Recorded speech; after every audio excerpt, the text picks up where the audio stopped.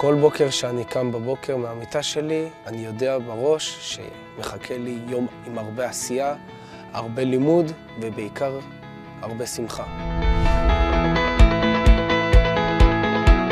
דרך ארץ הינה תוכנית חינוכית לצעירים ובני נוער בתקופות מכריעות בחייהם, בין התיכון לצבא ובין הצבא לחיים. דרך ארץ נועדה לתת להם את הכלים לבחור בדרכים הנכונות ולכונן את הערכים שאנו מאמינים בהם כחברה.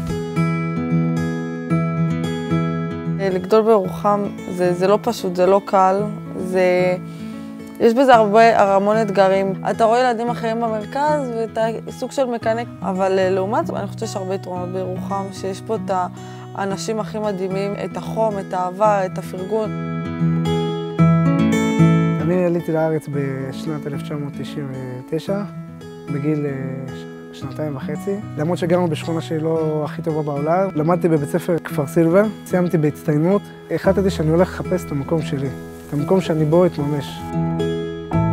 הייתי תלמיד שהוא אה, די טוב, אפשר להגיד אפילו מהמובילים אה, בכיתה בתחום הלימודי. לקראת כיתה ח' מצאתי את עצמי במקום אה, קצת מעורר בתור ילד. כמות הפעמים שהייתי הולך לבית ספר ונתקל במסגרת היא הלכה ופחתה. והשיא היה שישבנו בפארק שיכורים, התחילה איזה קטטה שבמהלכה נדקרתי בגב, ובאותו רגע חשבתי לעצמי שזה לא מי שאני רוצה להיות. קוראים לי ארתור, עליתי מבלארוס, ההבדלי מנטליות שם ממש שונים. כשהייתי חוזר מבית הספר והיו מציקים לי והיו עושים לי איזה משהו, אז לא משנה מה היו עושים לי, אז אני אשם. בסופו של דבר הבנתי שמה שאני צריך זה בעצם את המסגרת הנכונה הזאת, שתכווין אותך ותיתן לך את הדרך. בכיתה י"ב, יונתן אה, מדרך ארץ נכנס אלינו לכיתה, הציג את המכינה. מכינה חצי שנתית, שבזמן הזה אתה מקבל פרספקטיבה בניצנה, שבכלל לא ידעתי איפה זה נמצא לפני זה. חברה שלי הציעה לי לבוא לניצנה, אמרתי לה, מה זה החור הזה? וכשהגעתי, ירדתי מהאוטובוס ואמרתי שזהו, זה המקום. זה היה נראה לי באמת אחלה הזדמנות להוציא מעצמי משהו אחר, משהו שונה. סיפור שאני בחיים לא אשכח, יונתן הביא אותנו לניצנה, מושיב אותנו ככה על גבעה, אומר לנו, חברים, תעצמו עיניים, תדמיינו מה הולך להיות פה.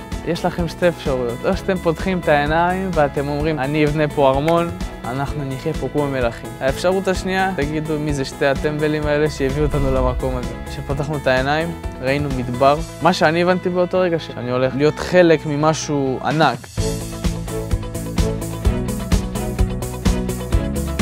תקופה שבאמת בנתה אותי. כל המצבים הלא נוחים שהיו לנו שם וכל הדברים הקיצוניים האלה גרמו לי הרבה, הרבה פעמים לחשוב ולראות מה, מה קורה סביבי. זה העניין של הערבות ההדדית, העניין הזה שכולם אחד בשביל השני, לא משנה מה.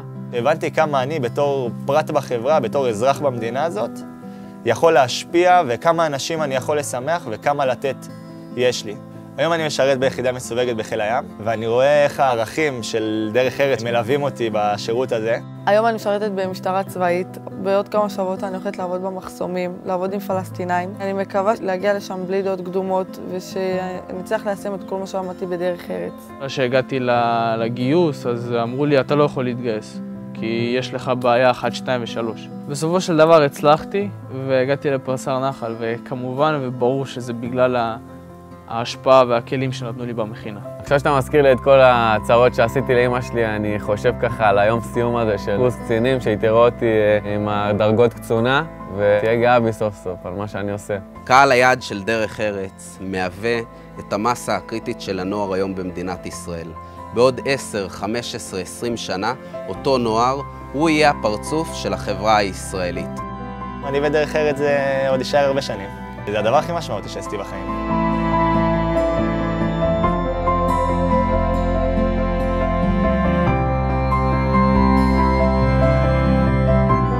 שעוד בני נוער יבואו ויחוו את החוויה הזאת, שייכנסו לתוך המסע, לתוך המשפחה, ייכנסו וידעו שיש שם בית שהם לכל החיים.